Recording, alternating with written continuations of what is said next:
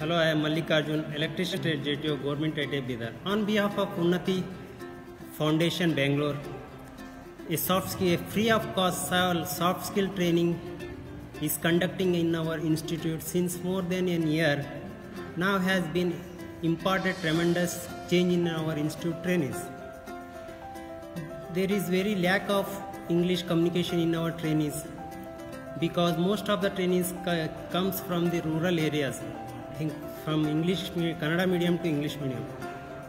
But now i am glad to say that is our trainees are making efforts to talk in english as much as possible.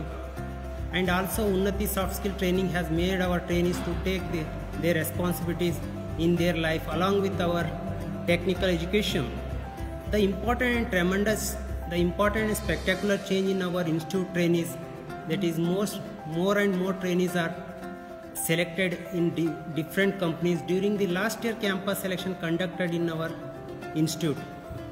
I and our staff members are believe that this is the impact of the soft skill training, life skill training is offered to our trainees.